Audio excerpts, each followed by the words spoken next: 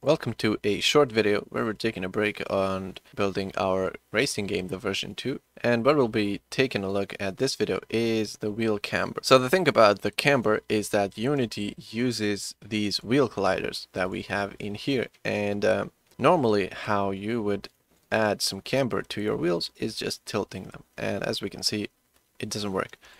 So you can try basically anything and uh, you can see that the wheels will not turn. You can turn all four wheels, but you can't turn each and individual ones.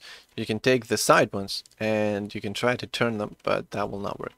So I've tried basically everything and uh, nothing worked except for this one, obviously. So um, the way I achieved this, as we can see, we have camber in here and I'll show you the camber in action right now. The wheels right now are perfectly, perfectly straight, like dead straight. And I've added these simple lines in here that will tilt the wheels, as we can see in here. And I'll show you the code behind this. So you might be wondering if this actually works in game, and we are going to take a look at that right now.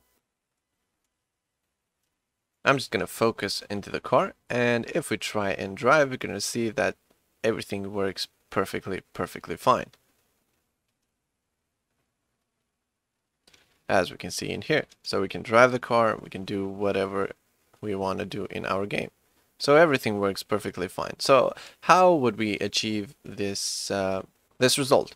So here is my code and um, these are the lines that I've added. So these are just two lines and um, normally what you would do to get the rotations working for your wheels is by doing wheel collider, or actually the array of wheel colliders, dot transform dot rotation is equal to wheel rotation. That's it. That's how simple it would be. But this does not work, obviously. So the way that you can achieve this is by using children objects. So I've discussed these in a previous video, if you've been around in my channel. But the way it works is that you can use the parent object to just rotate the wheel. So when you're turning, you can rotate the wheel and you can use this the children object to rotate into the other direction. But as we can see, it works not brilliantly.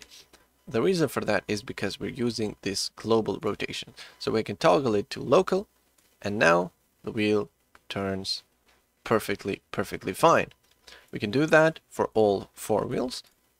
So that's how simple it is you just use a parent object and you use a child object.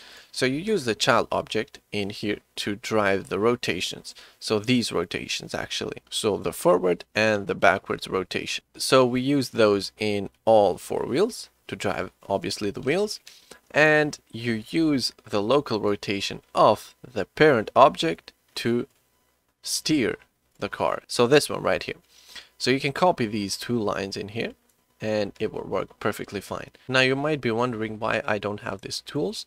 Well, that's because I've built a custom editor window, which has absolutely nothing special. I've provided that in a previous video, but if you don't want to go and download it and uh, try it for yourself, what you can do is what I just said, create children objects and parent objects. So you can then tilt at any angle, maybe this crazy angle. You can tilt the other one or maybe you want positive camber or negative. I don't know how exactly it works, but you can do that and it will work perfectly fine as we can see in here. So the wheels will rotate into that direction and it is obviously going to steer. Okay, so that's a very, very short tutorial on the camber.